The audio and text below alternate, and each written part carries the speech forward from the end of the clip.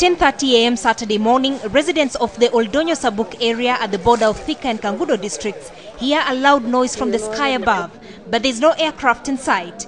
Instead, a strange object whose appearance left many puzzled.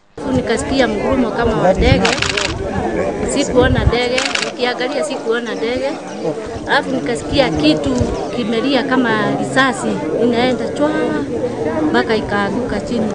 Army officers at the Thika barracks were quickly put on alert. So initially we thought it was uh, could have been an aircraft because uh, that is uh, within the, the flight the flight area of uh, both military and uh, commercial aircraft.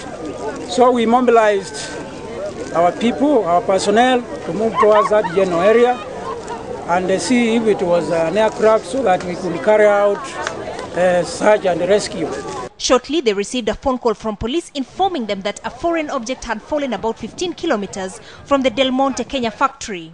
When we arrived here, the first thing we did was, uh, after we sighted uh, where the object fell, was to seal the area to make sure it is safe for wananchi not to come in because we didn't know what it was. So we realized that it was a rock, the one I have here, this piece of rock. The object had made a small crater on impact about 6 inches deep and 12 inches wide.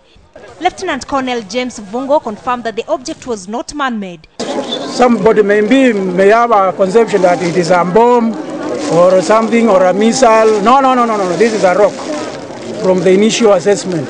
This is not a bomb or something man-made. However, if it is indeed a meteorite, there's a high probability most of it burnt up in space. So it is very rare to, maybe to have them. Uh, I'm talking here in Kenya. It is very very rare actually. Area residents, overcome by curiosity, had touched the object before the police and the military arrived on the scene.